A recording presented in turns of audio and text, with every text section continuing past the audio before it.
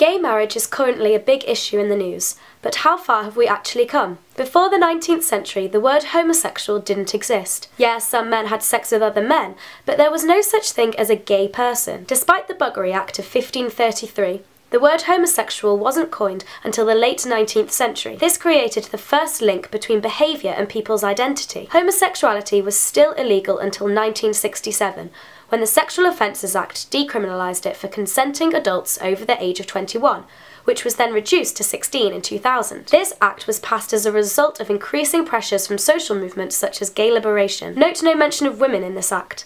Lesbianism was never made illegal or legal, however it was still socially stigmatised. In 2004, gay couples gained civil partnership rights, but the key debate at the moment is whether gay couples should be granted full marriage rights, and this is just another important step towards full equality for gay and lesbian people.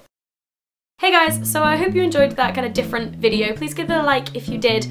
I actually made it in December, which was entered into a Guardian and Oxford University press competition, um, which I got to the final for, which was last week. Um, unfortunately, I didn't win, but it was a really cool evening and there was a lot of free wine, so I kind of just took advantage of that, really. I wouldn't have been able to get to the final and drink all of that free wine if it wasn't for you guys for voting for that film.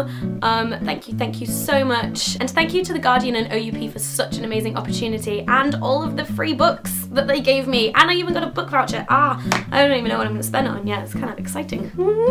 I'm a history student at university and one of the areas that I'm trying to specialise in is sexual history. Oh my god, Hannah's obsessed with sex. Yes, we already knew that. Okay.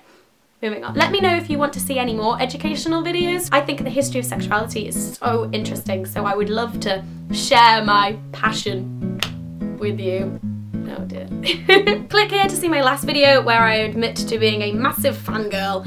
Or click here and you can watch a day in the life of a history student which I made for my university and you should go and watch it and comment weird stuff so the university is just like what is happening? We never get comments on videos. Blah. Um, that'll be fun. Alright, I'll see you soon. Bye!